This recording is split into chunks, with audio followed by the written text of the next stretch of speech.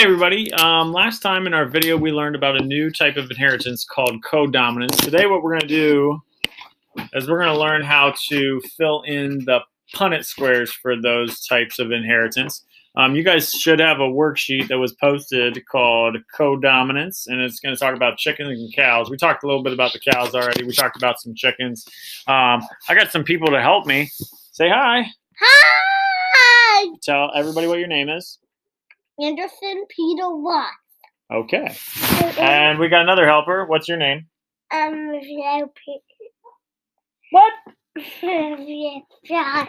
Marielle Ross. Yes. And these two um, young scientists are going to help me today as we learn about codominance. So, you guys ready?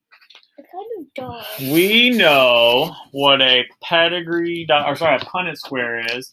It's a square that looks like this, and you got to let everybody see what it is, so it can't get in the way. Okay, guys. So, in normal inheritance, we had capital letters and lowercase letters, right? Yeah, I know. Like, like most of my letters. You do? Okay. What's I this letter, Anderson? B. I. Wait, is it a capital or lowercase? Um, capital. Okay. What about this one? Um, D. No, pretty close. B. Yeah. What kind? Capital or lowercase? Lowercase. Very good. All right, I- now, all right, two more questions. What about these two? What are these? Um, Are they capitals or lowercases? lowercases. Are they B's or D's? Um, D's. No, I'll try again. Bees. Good job. Not even in kindergarten yet. I know So- all of my letters. Oh, thanks for sharing with us. All right, so in normal inheritance, this is what we've done in the past, and they've been dominant and recessive. So this big one, Anderson, look up here. This one's dominant, and it covers up everything that these ones do. So everybody, if this was like say black and this was white, okay, the black covers up the white. All right. So Anderson, the black covers up the white, right? Yeah. So if we have a black and a white, what color is it going to be? Hmm. Black. Good job, Marielle. What did she? Yeah, black. Good job. Now, if they have two white alleles like this, what colors are going to be? Black. I'm white. It's going to be white. Anderson was right this time. Okay. So we have a little bit of a different thing going on, though, when it comes to codominance. So with codominance, we don't just have one dominant allele that covers up the other, they both can show up. All right. Yeah. So instead of having a capital B and a lowercase b, we have a capital B and a capital W. This one stands for black, and this one stands for white. And so this one would be black and white at the same time. um, Hey, we should take a a look at some other examples because sometimes you don't just have one trait or the other. read so Sometimes you have far. Both at one Truth. time. All right, Um, let's this keep is going. actually called Now, let's codominance. pretend So the when you other looked at the it cow at the white beginning of this video, so or this particular, big W, big um, W. Now, when we antelope, cross these, they actually have multiple colors big at the same lowercase time. w, So and this one actually has be in black and it also has alphabetical that orangey red okay? color. That's typically how Um, we do these it. are both These showing up at the same time, so neither one of these is recessive. so now the next thing that we have to do once we've filled it out is we have to determine what these individuals will look like What if you based did- on their genotypes. What if you sit did- on my lap, kiddo. What right, if you did your scribble writing? You my just, scribble writing. Yeah, you just uh, mm, mm, mm, My students think I scribble already, so we don't have to redo that. Okay, you ready? Everybody ready? Yeah. And for those of us who are out of context, and if you're watching this at a later date, this is the year of COVID 19, and everybody's at home, hence my children helping me. Okay? So, when we look at this, these two have a black and a white allele, and they both show up. So, Anderson, would they be black, white, or black and white? Um, what? No, not these ones because they have a black and a white allele. So what would they look like? Um, black and white. Black and white. Very good. All right. white. Good job. Chiming in late. All right. This one and this one, they have a white and a white allele. So what color are they going to be? Black. Black. No. White. White. White. There we go. Daddy, I have a question. Why do you Yes. have these other markers? So I can color. Like, All right. Oh. So let's watch. Since we got other markers and somebody pointed that out. Oh, this is not showing up very well, is it? Okay. That's not showing up very well. Yeah, Those two individuals, though, that I just circled. yeah, that's those, good choice. thanks. All right.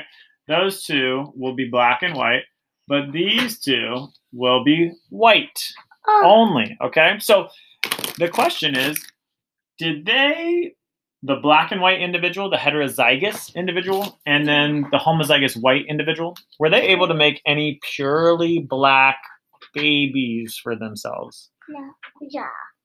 Marielle says no. Anderson says yeah. Let's see who's right. These ones again were black and white. So are those pure black? Or no, they're not. And these ones are white. So are those black? No. Nope. So did we make any that were just black? No. Nope. So No. this daddy and this mommy cannot make any offspring that are just pure black. But let's do another one. Yeah, that's a good plan. I can't wait. Awesome. This one has a black and a white allele. This one has a black and a white allele. Let's fill them in. What's this letter, buddy? B. And what's this? B. So they go into this box right here. So we got BB, right? Yeah. That's black and black. What color is this one going to be? Um, black. Good. This one, that's this letter right this here. one is white. Um, white. This And what's this letter? The um, W.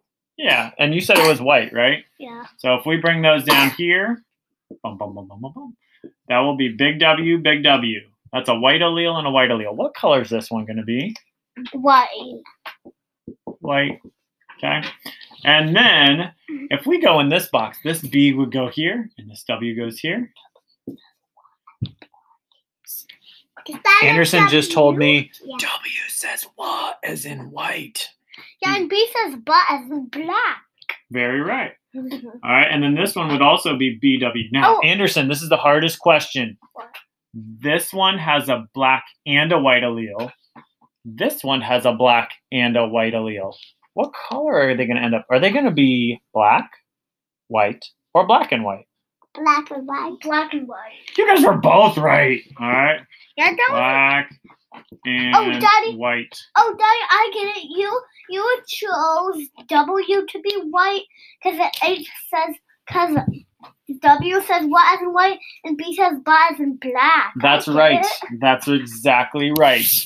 Boy knows his letters, or at least he's getting to. All right. So Oh, when you yeah. fill out the um, Punnett squares for co-dominance, that's some of the stuff you're going to look at. So you guys will be able to determine what its genotype is and what its phenotype is. Because remember, this time there's three genotypes and three phenotypes. When we did the old way of inheritance, Mendelian, sometimes, you know, with the dominant phenotype, you actually have two genotypes that go with that. So this one's probably going to be a little bit easier in some respects. Um, we're going to take a look at one of the problems in your homework, and then we will complete that. I- All right, so on your homework, you have this uh, example right here. We're going to do number one together. Um, in shorthorn cattle, color shows incomplete dominance. That should actually say co-dominance. Forget the incomplete dominance. It should say co-dominance. A red cow has the genotype big R, big R. A white cow has the genotype big W, big W. And heterozygous cattle are called roan. They have red and white spots. And that's what you saw at the very beginning of this video. And those ones have the genotype big R, big W. So what we're going to do is we're going to cross a red bull with a roan cow. You're going to make sure you do your Punnett square, and you can just do these on a scrap sheet of paper if you don't have this paper in front of you. Um, and then you're going to write what percent of their offspring will be red, what percent will be roan, which again is red and white. Those are the heterozygous individuals, and what percent will be white. All right, so for the Red Bull Roan Cow cross, now make your Punnett square. The Red Bull, the only way to be pure red is to have two red alleles. So that one's going to be big R, big R. To be Roan, remember you have one red allele and one white allele. All right, so when we fill this out, big R, big R's across the top there. Or depending on if you did yours, it might be on the side. Just you can flip the parents around. Remember, you just have to have one parent who's red and white, one parent who's red and red. And then when you fill in the other boxes, they're going to be red and white. Okay. When we look at this, these two individuals will be what color? They've only got red alleles, so red. These ones are going to be what color? They've got a red and a white, so they're going to be red and white together. The roan, okay? So 50% will be red, 50% roan, okay?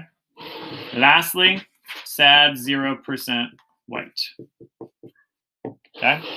All right, so attempt the rest of these problems. Um, email if you have questions, and we'll see you soon.